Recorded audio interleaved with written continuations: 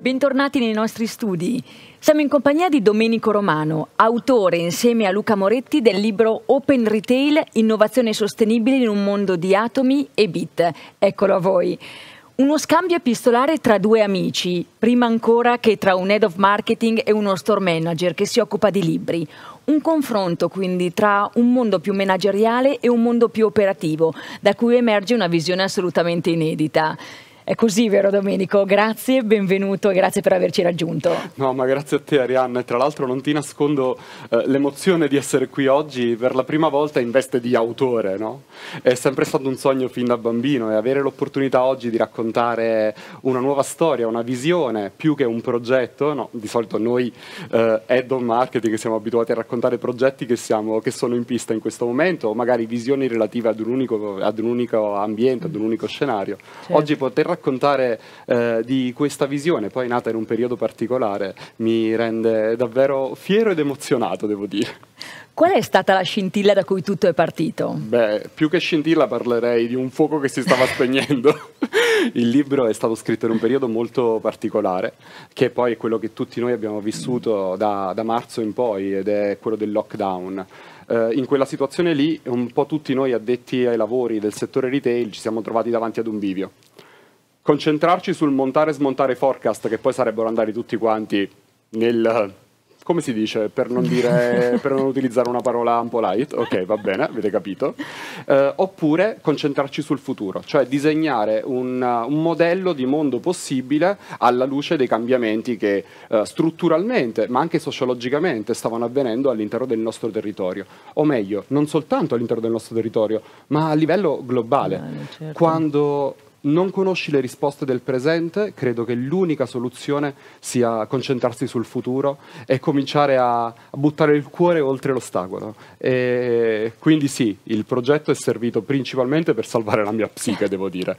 E sono stato fortunato perché ho trovato un grandissimo compagno di viaggio, che è Luca Moretti, un libraio fantastico, super appassionato di letteratura e soprattutto una persona dalla sensibilità spiccata che mi ha dato la possibilità di un confronto diretto, eh, di un confronto tra amici, che rende poi il libro, credo, molto fruibile. Qual è il punto d'osservazione da cui siete partiti per poi sviluppare il progetto? Il, libro, il progetto? Guarda, sono due punti di osservazione paralleli ma che poi si incontrano. Il punto di vista dell'headquarter, del manager, che oggi si deve interrogare su quali sono le innovazioni da portare all'interno del nostro mondo e all'interno del retail in generale, quindi omnicanalità, quindi informatizzazione del business, quindi dig- digitalizzazione del business, ma Rihanna, sarò sincero con te, non possiamo dimenticarci di chi questa innovazione la subisce e la utilizza certo. in un certo, certo senso. E Luca è fondamentale in questo percorso perché lui è la sostenibilità del progetto. Non si può ragionare su un progetto valido se dall'altra parte non ci si interroga realmente sulla sostenibilità dello stesso. E chi può darti una risposta sulla sostenibilità se non chi opera nel settore? Certo, anche se è un settore analogico, diciamo, ecco, come origine quello dei libri, eh, no? Sì, assolutamente. Ma poi tra l'altro è sempre questo il bello, no? Noi, eh, a prescindere dal mezzo di comunicazione che utilizzi, quello che resta eh, resterà per sempre, Bravo, certo. da Omero in poi sono le storie. Quindi noi sì, raccontiamo storie, qualche volta lo facciamo sui prodotti, qualche volta lo facciamo attraverso mezzi di comunicazione, qualche volta lo facciamo attraverso format o, come in questo caso, che poi è un piccolo pezzo di cuore perché l'industria editoriale è quella, attraverso i libri. Certo, quindi entriamo più nel vivo e anche per dare una visione pratica, anche se visione e pratica sembrano in antitesi tra loro. No, voglio raccontartelo un po', quindi eh, se vuoi partiamo, certo. partiamo, a raccontare proprio i contenuti del libro. Certo, Il libro parte da un assunto fondamentale, per concentrarci sul futuro dobbiamo cominciare a pensare che quello che stiamo vivendo non è un caso a sé stante, ma è un qualcosa che esiste negli anni. I numeri che vediamo qui, per esempio, su questa slide, sono i numeri del retail non di giugno 2020, ma i numeri del retail ad inizio 2017. La crisi del brick and mortar store non è un qualcosa che è nato adesso a causa del lockdown, è un qualcosa che già ci portiamo dietro da tantissimo tempo. Ma perché questa crisi del brick and mortar e cosa possiamo fare per uh, andare incontro e risolvere e trasformare la crisi in opportunità? I motivi sono tre. Il primo motivo è assolutamente distributivo, e adesso certo. lo racconteremo. Il secondo vedremo che è sociologico. E il terzo, ovviamente, qualsiasi cambiamento sociologico si porta dietro un cambiamento mediatico. Ma analizziamoli con calma uno alla volta. Certo. Il primo, distributivo. Dieci anni fa il mercato distributivo del mondo delle sneakers, che è quello in cui io opero in questo periodo, era così. Esistevano i brick and mortar store, esistevano i vertical retailer, cioè quelli dei nostri brand partner che vendevano quel prodotto direttamente, e poi esistevano i negozi indipendenti, no? il negozio di quartiere nel quale tu andavi ad acquistare il prodotto. Internet ancora nel 2009 veniva utilizzato principalmente come infotainment per raccogliere informazioni e poi esistevano i primi shop. Okay? Nasceva in quel momento Facebook in Italia, 2008 è stato l'anno del boom di Facebook in Italia, quindi stiamo parlando dieci anni fa il mondo si presentava in un altro modo. E in quel periodo il problema era trovare il prodotto. Cioè, certo. vedendo, informandoti sul prodotto, magari dopo aver visto uno spot TV o un post su Facebook, cercavi di trovare il prodotto e potevi trovarlo in quei canali lì. Poi all'improvviso, eh, ragazzi, sono arrivati questi tre tizi e ci hanno rovinato la vita. No, scherzo. Zuckerberg, Jobs e, eh, e Bezos hanno rivoluzionato tre concetti: accessibilità, connessione e distribuzione. E rivoluzionando questi tre concetti, hanno trasformato il mondo in questo casino qua. Ah, caspita, rispetto a E quando nasce questa, quando il mondo comincia a proliferare di canali di distribuzione, quindi cominciano a nascere i primi e-commerce, i reseller, gli wholesaler, gli wholesaler e-commerce, gli wholesaler diretti, i brick and mortar store, i vertical retailer, i super department store, gli influencer che provano a venderti il prodotto, e quindi quando il prodotto, trovare il prodotto non è più un problema, certo. bisogna shiftare o spostare, diciamo in italiano, il, l'attenzione da qualcosa che era strettamente legato al prodotto a qualche altra cosa. Il prodotto comincia a cedere il suo ruolo nel trono, quindi comincia mm-hmm. a lasciare il trono a qualche altra cosa, che capiremo cos'è. Il secondo problema è assolutamente sociologico. Io non so, um, Arianna, se ti sei mai chiesta se il mondo sta migliorando, sta, sta, sta andando verso um, dei risultati migliori oppure sta peggiorando. Il Dipende dall'approccio, perché tanti hanno resistenza questo, a questo cambiamento e tanti lo vedono in modo invece positivo. Certo, Io quello che dico è che abbiamo dei numeri che dimostrano che il mondo è un posto migliore. Tra l'altro su questo consiglio il libro di, Lor- di Rosling, Factfulness, che li dimostra uno a uno, ma in generale un numero su tutti. La vita si è allungata e ah, per certo. la prima volta sul pianeta oggi abbiamo sette generazioni. Queste sette generazioni cosa comportano? L'impossibilità di dialogare con tutti contemporaneamente nello stesso modo, con lo stesso linguaggio. Certo. Quindi culturalmente se... sono distanti anche, Esatto, no? se da un lato mm. è una grandissima opportunità perché crea segmentazione Chiaro. di linguaggio, Dall'altra è un grandissimo problema culturale. Certo. Dobbiamo capire come dialogare con i nostri nipoti, i nostri figli per chi li ha e con, nostre, con i nostri genitori. Certo. Completamente con grammatiche e contenuti diversi. Quindi sia da un punto di vista semantico che sintattico il mondo esatto. sta cambiando. Pensa dal punto di vista mediatico. Guarda, concentriamoci su un aspetto. Avresti mai pensato a questo concetto di bellezza? Gucci l'ha ripresentato, sfera e basta, non me ne voglia, ma non è oggettivamente bello, non è il Raul Bova o la Monica Bellucci che siamo abituati a guardare certo. da uh, generazione X o millennials. È un altro concetto di bellezza completamente nuovo che è quasi irriconoscibile. Certo, Quando il linguaggio cambia, quando i canali di distribuzione cambiano, quando il prodotto deve cedere il suo spazio sul trono, cosa succede? Che una nuova regina arriva nel nostro reame, sul nostro palcoscenico. Questa regina è la relazione. Instaurare una relazione intergenerazionale, che è poi il racconto del libro, è il motivo fondamentale di ogni strategia marketing. La relazione si porta dietro un altro grande cambiamento, che è il cambiamento mediatico. E quindi se cambia il linguaggio, cambiano i contenuti. Cerchiamo di capire e guardiamo una carrellata di questi contenuti. Prego.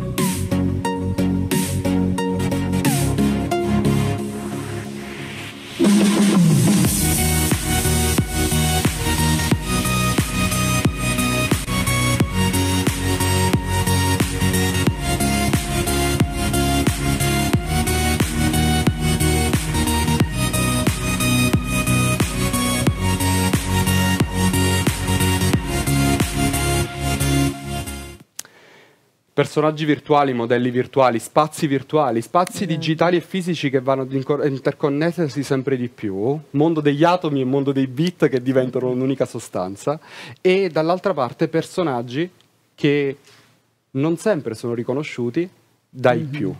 Eh, quelli, certo. che, quelli, che, vedete qui, quelli Beh. che vedi qui, sono uh, tre personaggi fortemente riconosciuti dal loro target di appartenenza, ma scommetto che se ti chiedo di riconoscere il numero uno, in questo momento tu come... Avrei difficoltà in effetti. La prima è una youtuber famosissima, il nome è Rosalba, ha più di 20 milioni di followers attraverso tutti i canali ed è una delle persone più riconosciute all'interno del mondo dei twin. Il secondo è Gali, Gali e il terzo certo. attualmente il bambino più ricco del mondo. È l'unico per... che recensisce giocattoli a livello ah, globale. Certo. È vero, l'avevo sentito Il problema, parlare. Ari, è che oggi non c'è più lui.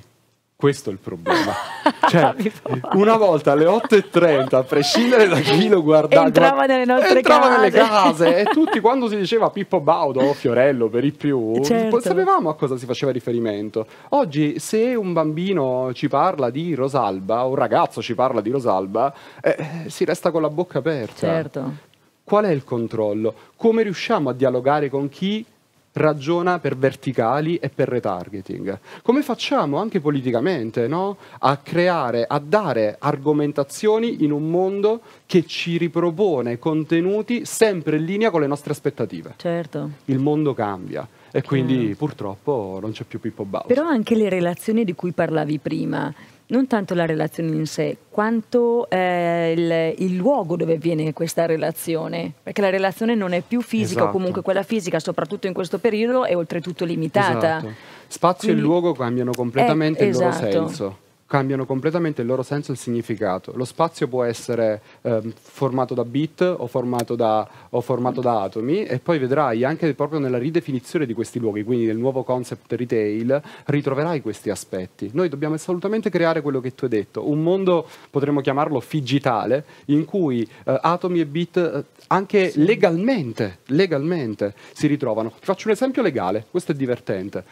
Tu oggi se ti iscrivi ad un programma ro- uh, royalties, loyalties, fai la tua scheda fedeltà e rilasci i tuoi dati con l'autorizzazione di poter, uh, non lo so, magari ricevere messaggi commerciali. Okay? Certo. La stessa autorizzazione non vale per essere ripresa all'interno degli spazi fisici del banner. Perché? Mm. Domani l'unione tra fisico e digitale ti permetterà un retargeting o fisico-digitale come oggi avviene su Google, una volta che hai visitato la pagina ritrovi sempre quei prodotti, esatto. domani anche quando visiterai fisicamente uno esatto. spazio, magari in realtà aumentata, magari attraverso la tua ricerca su, sul, sul tuo mobile, sul tuo device, rivedrai quei contenuti, un retargeting che funzionerà tra fisico e virtuale in continuazione, grazie anche a nuovi strumenti di fruizione. Certo. Ma guarda, procederei con ordine perché in realtà eh, il lockdown, come dicevamo, ha dato un'accelerazione a tutto questo. Quali sono i quattro fenomeni che abbiamo verificato realmente e sui quali dobbiamo ragionare per ridisegnare il retail del futuro? Quattro su tutti. Il primo, uno svuotamento dei centri commerciali e degli spazi di shopping nel fine settimana. Chiaro. Per la prima volta il fine settimana ha cominciato a pesare quando l'inizio settimana. Quindi non è vero che c'erano super calche di persone, il traffico numericamente è calato ed è calato principalmente nel weekend. Il secondo, si sono svuotate le grandi città. Esatto. Cosa succede quindi? Che tutto il concetto di real estate impostato esatto. come neanche sei mesi fa comincia a cambiare. Certo. Cambia il valore del negozio, cambiano i valori del rente, cambia il valore della posizione dello spazio fisico all'interno di uno spazio. Non hai più l'obbligo di entrare in generatori di traffico devi essere tu stesso un generatore di traffico, certo, una perché destination. la gente non passa più, quindi esatto. non c'è esatto. più, quindi non c'è questa... Il, st- il co- corso Vittorio Emanuele non esiste più. Certo. Numero tre, ovviamente crescita in double digit, se non triple digit, del canale digitale. Lo shopping è comunque continuato e se avevi dei sistemi infrastrutturali che ti garantivano un'ottima connessione tra mondo degli atomi e mondo dei bit, hai potuto mantenere una parte del tuo business. E quattro, il eh, conversion rate è salito, cioè le persone disposte ad acquistare entrando in uno spazio fisico digitale sono cresciute. Quindi il tasso di incidenza tra chi entra e chi acquista è aumentato. Okay? Alla luce di questi quattro fenomeni, che non sono né positivi né negativi, qui non facciamo... Sono un dato di fatto adesso. Esatto. Alla luce di questi quattro fenomeni ridisegniamo il negozio del futuro. Cosa farà il negozio del futuro? Punto numero uno.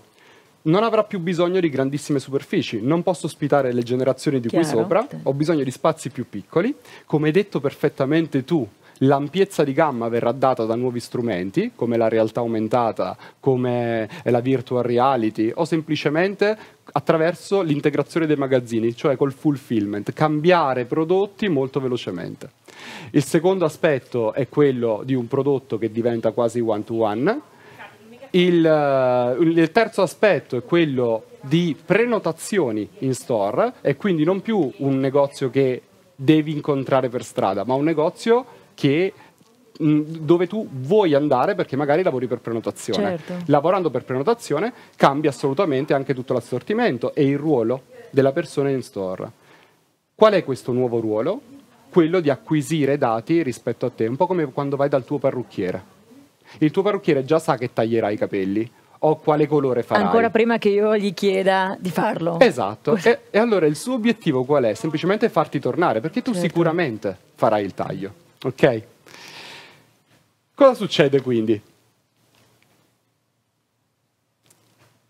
Succede che cambia il ruolo dell'addetto vendita, succede che cambia il PNL dello store, succede che dobbiamo cominciare a rivedere anche come eh, gestire le persone che abbiamo a disposizione certo. per farli diventare cosa? Dei consiglieri maieutici dei nostri consumatori, una sorta di Esatto. personal shopper Esatto. tesi ad acquisizione del dato. Però devono essere anche coloro che trasferiscono un po' l'identità, il DNA dell'azienda, cioè devono arricchirsi di contenuti perché non sono più dei venditori, diciamo, Esatto. fin- finalizzati semplicemente all'acquisto, devono forse far vivere un'esperienza che porti le persone lì. Ed è esattamente quello il punto, esperienza, no? Quello che- che noi chiamiamo esperienza oggi ha un bug e l'esperienza è remunerazione dell'esperienza.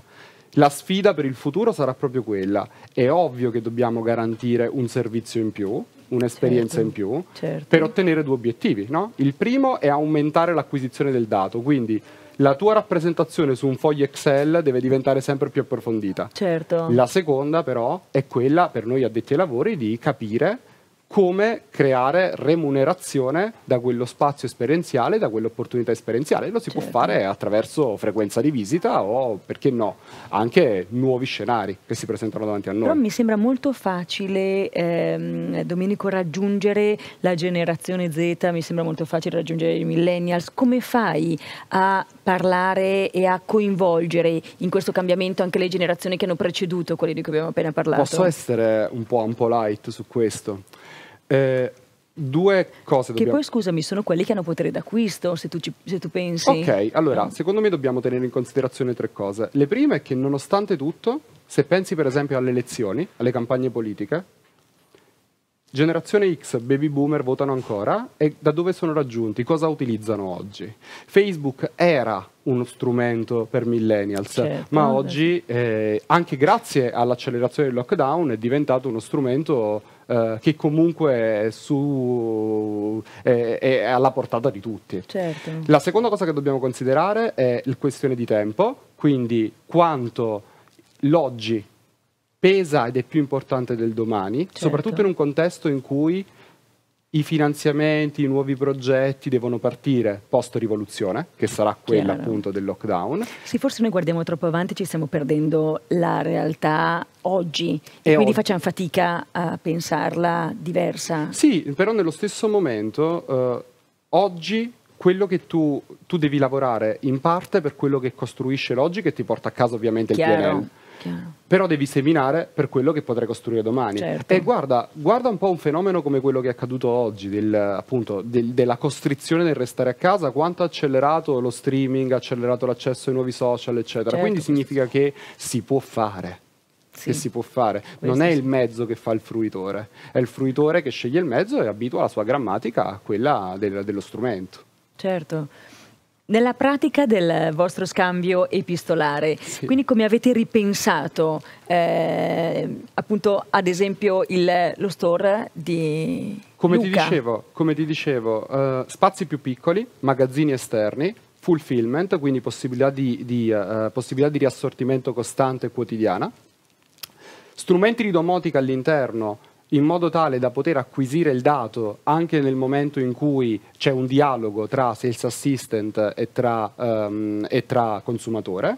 Uh, un prodotto che funziona per allocazione e accessibilità, quindi se fino a ieri rispondevamo alle esigenze eh, della, di, di, di, avere un prodotto dove vuoi, quando vuoi, come vuoi, al prezzo che vuoi, attraverso le promozioni, oggi il mercato si segmenta verso l'alto e risponde a queste esigenze di temporalità certo. attraverso un altro lavoro, che è quello di creare allocazione di prodotto. Vieni oggi perché domani non lo ritrovi più e ampiezza del prodotto poi ehm, raccontata attraverso nuovi strumenti di realtà aumentata, di virtual reality, eccetera. Ma la cosa più importante è che il punto vendita sarà strutturato per una conoscenza del consumatore intima, cioè se tu lavori su prenotazione e io so che ospiterò Arianna all'interno del mio spazio, gli farò trovare un product mix studiato per lei, un visual layout studiato per lei ed una persona che sa esattamente quello che vuole, quando vuole e come. Quindi il segreto è trasformare le retail company in data driven company. Certo, quindi un'attenzione ancora più focalizzata sulla tua persona. C'è anche spazio un po' per la, l'aspetto emotivo? Assolutamente. In realtà il segreto è proprio il quello. Il desiderio anche. Il segreto è tutto lì. Eh, il marketing a quel punto dovrà interrogarsi su come riuscire a suscitare bisogni e desideri come lavorare su queste verticali, ma certo. soprattutto come andare a toccare quei punti nel dialogo con il consumatore attraverso poi operazioni di maieutica che dovrà adottare l'addetto vendita che siano anche emotive. Se tu pensi ad oggi come funzionano gli algoritmi uh, dei social network, hai sì da una parte una sfera razionale, cioè ho reagito in 30 secondi almeno 30% sul secondo articolo, ma c'è anche una sfera emotiva nell'utilizzo del, delle parole, nella strutturazione certo. semantica e sintagmatica di quello che tu vedi di fronte Perché a te. poi credo che al di là del bisogno sia quello che tutto muove, insomma, esatto. l'emozione alla fine. Esatto. Quindi tu mi dici che si può fare, anzi voi mi dite che si può fare anche senza passare da quelle piattaforme che tutti conosciamo, eh, insomma, A- che hanno monopolizzato. Assolutamente, assolutamente. Se cominciamo a considerare il banner come un universo costante di valori che poi a quel punto si muove attraverso canali di distribuzione che potranno cambiare oggi o domani e il legame sarà col brand che propone Uh, quella, tipologia di, uh, quella tipologia di vendita, quella tipologia di prodotto e quella il lavoro di acquisizione del dato che porterà te a sentirti in famiglia, Certo. una volta varcato quegli spazi fisici o virtuali, allora sì, la risposta è eh, c'è più futuro che passato in questo settore.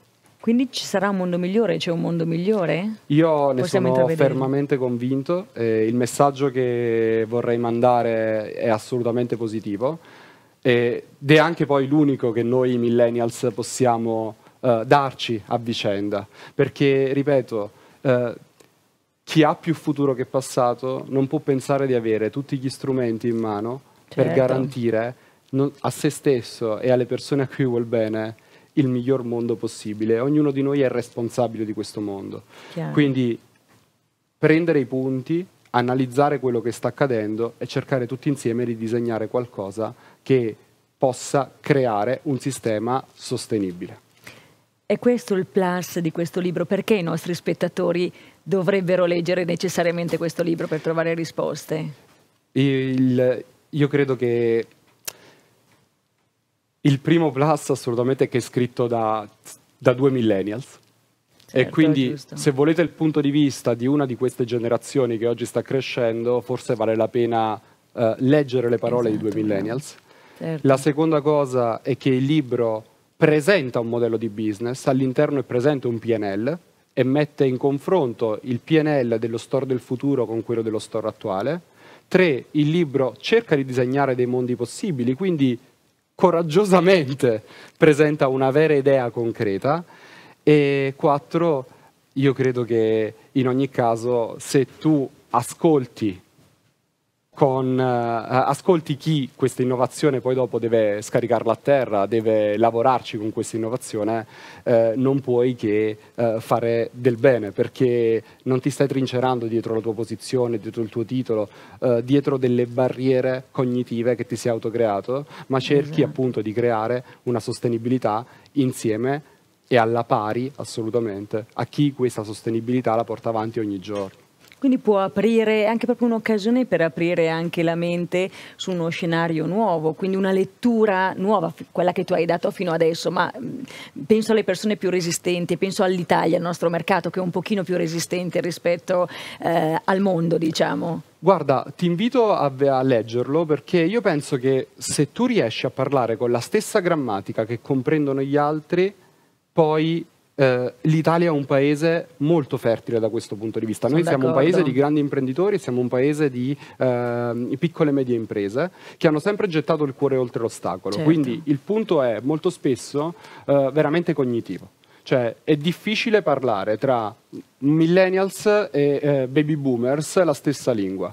Allora se noi facciamo un passo indietro e cerchiamo di raccontare e dall'altra parte si tende la mano per cercare di comprendere, penso che il futuro non possa che essere sostenibile.